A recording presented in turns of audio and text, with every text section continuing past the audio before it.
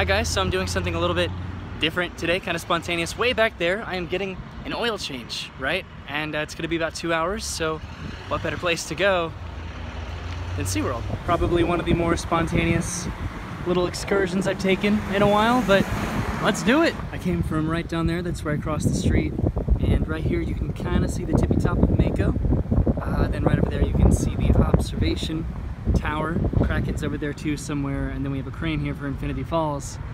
This is going to be interesting kind of walking into SeaWorld as a pedestrian because pedestrian access isn't the easiest thing when it comes to theme parks. But let's do it. I'm excited. So I've run out of sidewalk, so I am crossing the street here towards Discovery Cove. I guess I should have just stayed on that side of the street back there. Oh, it's loud. Oh neat, the Discovery Cove logo is like a dolphin with a person swimming next to it. That's cool. I've been inside Discovery Cove once, not the park, but I did drop somebody off in the parking lot back there. All right, now we're walking this way. What an adventure. I always feel so guilty when I cross the street and I make everybody kind of wait like an extra 30 seconds before they get the green light to go. Uh, but this is just me having a good day today. I'm on my phone, not even on my special little vlogging camera. You guys are getting the raw me right now with my Gatorade and a sense of adventure. And I'm excited. Don't you guys like always say I'm excited every time I just don't know how to end what I'm talking about? Uh, I'm pointing at a little tiki hut over there in Discovery Cove, and then there's SeaWorld. You can kind of see the top of Shamu's Happy Harbor and the, uh, the observation tower. I tell you what though, this walkway that I'm on right now, this is actually really serene. Over there you can see the main SeaWorld parking entrance. That's where you go to park if you have a car. If you don't, and you're like me, you walk this way. All right, so I can't go that way because there's no sidewalk, so I pretty much have to go around the entire perimeter of SeaWorld to get around to the back where the actual parking lot is, and then I can walk in through the parking lot and then through the front entrance. All right, still walking straight. You can see the tops of the blue toll booths over there. That's where you pay for the parking. I'm gonna go up to this intersection right here and then cut across and then that's the Renaissance Hotel right there. I can go right across from that and I'll be in the parking lot. All right, I am crossing Central Florida Parkway again and here we go, SeaWorld. You can see a little walking person sign, so I'm going the right way. I'm sorry that it's so bouncy, by the way. Uh-oh. Yikes, that's no good. Uh, sorry it's bouncy again. I'm on my phone, so I'm just kind of walking and talking as I pull it out and film some stuff. I also don't really have any storage on this, so I'm trying to connect to the iCloud for the first time. I've never really taken advantage of that. So today is a day for firsts, and just walking around the entire perimeter of SeaWorld. Basically, like I went around the entire back of, because where I started over there to get my oil changed, that's like right by Mako, which is in the back of the park. So I had to come all the way around. And then I'm gonna go in right there and walk across the parking lot. This is what I was pointing to, by the way. This is the really the exit for cars out of the parking lot for SeaWorld. But that's the main entrance right over there. You can see Mako sticking up over the top. Back there, that's where I started, all the way on the other side there. That is where cars would normally come in after paying for parking. That is the exit, one of, I believe, two or three. And I'm heading right over there. You can see kind of a reasonably less amount of people here uh, since the Seven Seas Food Festival is now over. But I don't know, I still like SeaWorld. These are my favorite days when like half the parking lot is empty because that means half the amount of people are in the park, which is not as great for SeaWorld, but it's doubly as great for me. Whew. Okay, made it to SeaWorld. That was a long walk, man. That took about, about 40 minutes from the very back of SeaWorld all the way around to the front entrance. About 40 minutes, wow. Okay, I'm inside SeaWorld successfully. And wow, they are, I didn't notice this when I was here last week. Was this here last week? They are like adding on. The Sesame Street characters are about to have 10 times a bigger influence on the, uh, the SeaWorld parks here. They are getting their own land over where the uh, Shamu's Happy Harbor used to be, which I'm okay with, but I'm also kind of bummed out about. Oh wow, they are like really jumping on the uh, the SeaWorld hype train. Was this here last week either? I don't remember because they just announced uh, their Sesame Place coming to the Shamu's Happy Harbor area like a couple days ago, so I don't know how recent this stuff is. Looks like on the other side of the Emporium they're building something up there too. That looks pretty new. You know, I don't really know where to go because the Seven Seas Food Festival is now over. You can't go this way anymore. You gotta go the long way, which is okay with me because then you get to see a lot cooler sights that otherwise you'd miss. A little baby dolphin is hanging out with the little baby.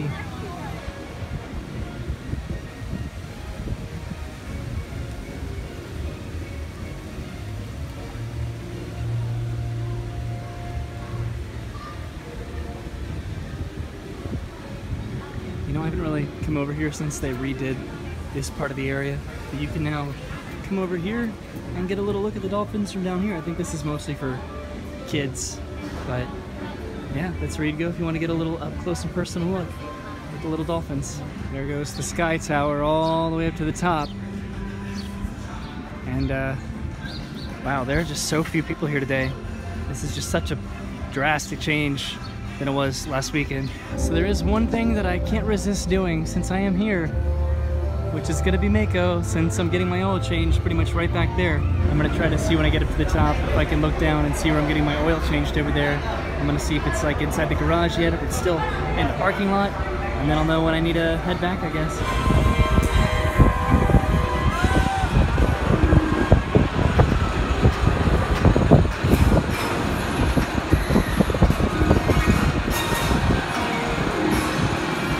So for the record, I could not see the place that I was getting my oil changed back there because it was a hotel that was in the way, but I just got a phone call that said my car is ready to be picked up. So I guess I'm gonna go pick up my car.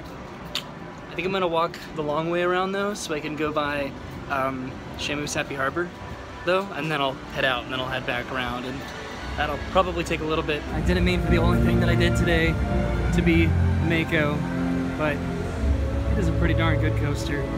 I like it more and more and more each time I do it. It's just really fun and fast and bouncy. No really crazy inversions. There are no inversions in this one, but it feels like it. You go sideways a lot, which is, you know, just as exhilarating. Here it comes, here it comes. Whoa, look at him go. So there's Mako over there. And then over here is a much clearer look at what I was trying to look at uh, last week. This building that they're building right here. No idea what it's gonna be, but it's gonna be there. It looks like some sort of like observation area, but for what? I don't know. This is a really tall crane over here for Infinity Falls. Every time I walk this way, I feel like it's more and more narrow. There's nobody there. I'm like all alone, I feel like, at SeaWorld today. I'm not, but I feel like it. Okie dokie, exiting out of the blue narrow tunnel. I'm heading over there into Happy Harbor, right on the other side of those pumps. That's where I was walking. That's Discovery Cove over there, and I walked all the way around the park, and I've walked a lot today. So when Brennan and I came for the Seven Seas Food Festival, we went this way, all the way around the Happy Harbor, but I'm gonna try to go this way to see if I can. Yeah, looks like I can. There's nobody over here, but it's not closed off. I lamented my sadness with Happy Harbor closing in the last SeaWorld video, but it looks like this is it. This is it for good. They are closing this down to make way for a Sesame place, I guess. Okay, so you have to come up here to the Shamu Stadium area, and then you have to go back down, I guess, so you can't use that main sidewalk down there. And right down there, that's where the uh, Shamu photo op is that I, that I like, that I talk about a lot. Um, but that's it. That is Shamu's Happy Harbor. Looks like it's closed. In the concept art, you can actually see the Shamu roller coaster in the back. You can see that as part of the concept art for Sesame Place, whatever they're building over here. That is gonna open in 2019, by the way, which, let's be honest, that is pretty ambitious. SeaWorld really pumps things out really fast and really well. They did with Mako, they're doing it with Infinity Falls, they're gonna do it with Sesame Place. I know they're gonna have a parade in there and characters and all sorts of stuff, but I, I didn't think that would that would happen until like 2021, 2022. I, I don't I don't know. They never really gave a time frame on it in the first place when they announced it. And now it's coming, and I'm never gonna get to climb up in those fun little ropes again, unless they incorporate it in the new land, which they probably won't, but still hoping, cross my fingers. All right, still walking along this relatively empty path across the relatively empty bridge to make it over there to the front of the park because I've got to go pick my car up. So now Bayside Stadium's gonna be pretty unoccupied until like Christmas, I'm guessing. And I really need to go up in the Sky Tower soon. I do want to check out some construction, but I'm probably gonna wait Brennan can join me just so I don't have to do that by myself. I would, but it'd be cool if she was there too. if I had had a buddy, you know? Same with the little festival village over there. Nobody's gonna be over there until, uh, I guess, well, Halloween, probably. Once again, it looks like I'm leaving without going over to Kraken or to Antarctica or to Atlantis or that area. Uh, why do I keep doing this? I keep walking into this particular plant.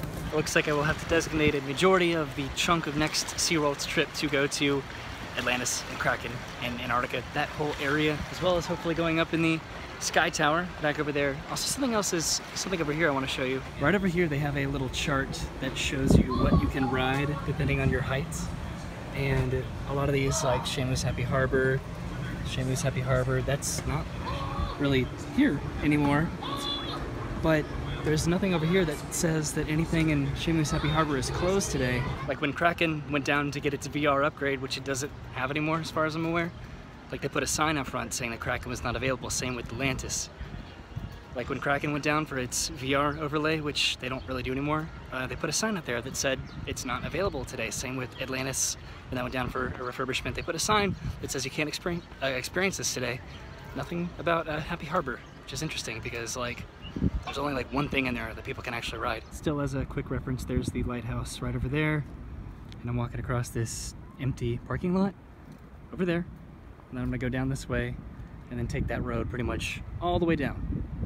So yeah, it kind of like curves around a little bit. You know, I'm not gonna lie, I thought this would be easier, but I'm glad that I did it and I'm glad I'm getting my exercise today because Lord knows I need it. Okay, there is the SeaWorld exit right there. So I just need to make my way down this road, crossover, and I told you this already, but I'm lonely and I need to update somebody. Just as another point of reference, if you go to this road here, right out of SeaWorld, if you go left, then you go right, that's I-4, right over there. And uh, that's how you get to like Disney. And if you go back that way, that's how you get to Universal. SeaWorld's kind of like in the middle of Universal and Disney. So it's a nice way to kind of like remember that, how it's Disney, SeaWorld, Universal. Woo, just crossed the road just in time. Now I just gotta go this way for like a mile. One thing that I really do appreciate about SeaWorld is that right next to it is a lot of like undeveloped or abandoned land. Like back there, there's an abandoned golf course and, and I don't know, it's just, it's so weird to me that there's SeaWorld right here and then nothing right here because this would drive Universal nuts. All right, I am passing by one of my checkpoints here, the SeaWorld parking entrance, which means I'm getting close. We got Discovery Cove up on the right and then I guess I'm almost there. Got Taco Bell, got Wendy's, KFC. A little bit sad that I use those to determine where I am around here, but I do. You might be able to hear this that is the Discovery Cove area music. I like that. You can also hear the bamboo like crackling and I don't like that because that's kind of scary. All right, now instead of crossing here like I did last time, I'm just gonna stay on this side of the road. There's the Discovery Cove sign. Never really been this close to this, so that's cool. And we're in the final stretch now. There's Taco Bell. That's more important, isn't it? What is that? Is that supposed to be something? Is that from a park? There goes Mako. I just did that. And it looks like they're doing some sort of construction up here. So I don't know if I'm gonna have to cross the road and then come back over or what, because where I need to go is on this side of the road. I don't know. Uh-oh. Okay. I'll figure this out somehow. Yeah, they completely uh, blocked off that sidewalk over there, so I'm gonna have to come down here and then cross over here and then go back.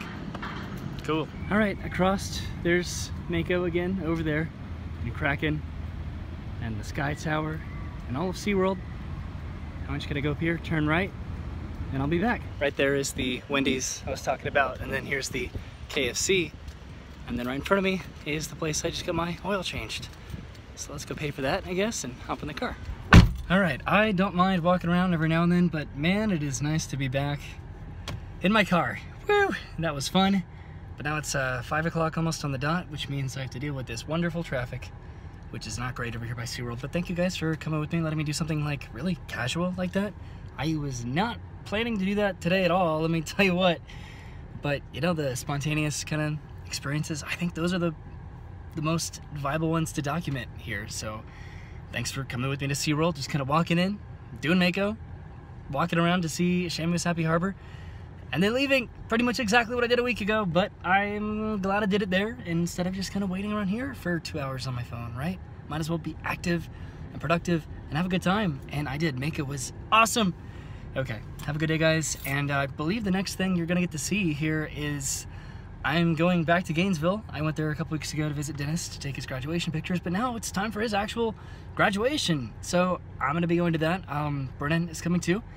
Gonna meet up with Travis, his wife Christine, my parents. Just gonna be an awesome, fun little weekend for Dennis, and it's gonna be cool to see that for him. So I'm proud of him for that. I'm looking across the street at Mako, right there. That's really what made me decide to go to SeaWorld. I was just sitting here and I was like, SeaWorld is right there, and I did it. Okay, have a good day. Goodbye.